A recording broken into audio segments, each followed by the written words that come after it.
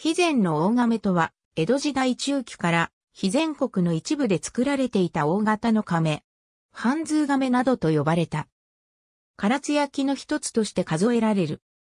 日用雑器として、貯蔵、醸造などに幅広く使われたが、生活様式の変化で大亀の需要が減り、東松浦郡大内町の藤田製陶所が1978年に生産を終えたことでその歴史を閉じている。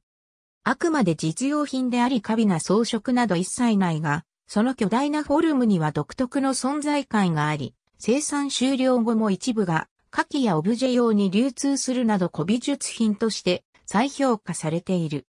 左からハット亀、男亀、大天亀川高住宅にて製作用具唐津市、大地町横枕の大亀のぼり釜跡石活色の土に茶褐色の上薬をかけた大型の亀。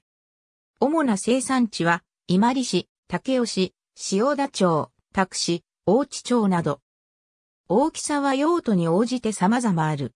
嘉永6年の年号が記された初期の大亀で、佐賀県立九州当時文化館に所蔵されている。大亀は一石二トイレで高さ90センチ以上、合計50センチ、胴回り70センチとなっている。また、竹尾市西川登町の雇用、亀屋用2号用の発掘調査では、合計が81.8センチもある亀の頭辺が発掘されている。これだけの大亀を焼くため釜も非常に大きく、この亀屋用の登り釜は水平全長が40メートルを超えている。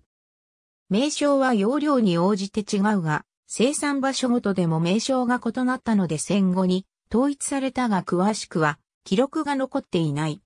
五国、愛二国、中二石、男亀、大天、女亀、大味噌、大寸切れ、小寸切れ、大すり鉢などがあった。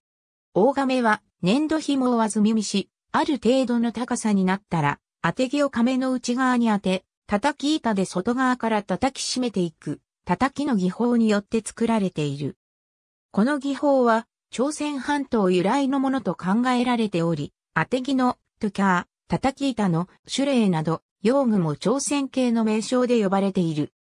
なお、この叩きの技法は亀作りでは、廃れてしまったが、唐津焼の人間国宝となった12代、中里太郎右衛門が、最後の亀作り用である、藤田製陶所などで技法を学び作刀に活かしたため、芸術の世界では残っている。他、ケリロクロを二人がかりで使用する、火を用いての強制乾燥が、技術的特徴として挙げられる。韓国で使われる音儀と呼ばれる、荒質活有陶器との間で、制作技法、用具、施設の面でる維持、共通する面が多い。江戸後期から大量に生産され、全国各地に流通したため、多くの遺跡から発掘調査で発見されている。最も主要な用途は、水や穀物の貯蔵用である。液体の貯蔵では、水以外にも、油や酒、醤油などにも使われた。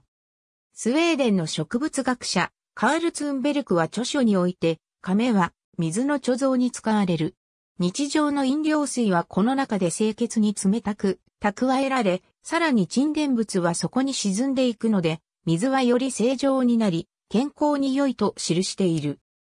またこの亀を世界最大都市、オランダ人が購入してバタビアなど、東、インドで販売しているとも記している。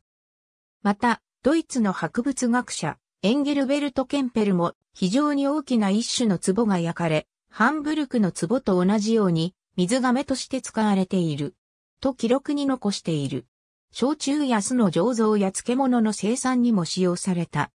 1936年の肥前当時施行に鹿児島の泡盛容器にも供給され、年産額5004円を上げたりしが、との一文がある。九州当時文化館が2004年に調査したところ、焼酎や醤油像のほか、山川付の生産現場で多数の非然性の大亀を発見している。他、焼き物製造現場では、釉薬の調合に使われたほか、藍染めの藍の保存、鋳込みの冷焼液製造などにも使用された。また戦時中は爆薬などを作る薬品の貯蔵用としても使われている。江戸時代は土葬用の亀缶として広く使われた。また土中に埋めて、声亀としても使われた。